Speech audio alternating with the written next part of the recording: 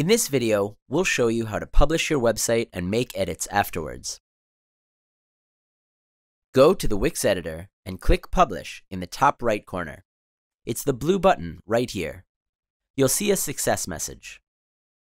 To see how your site looks live, click View Site. How to edit after publishing your website. Go to Wix.com and sign into your account. Then, click Manage Site and Edit Site.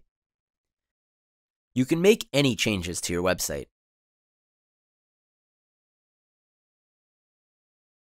If you're not ready for them to appear live on your site, click Save on the top right here.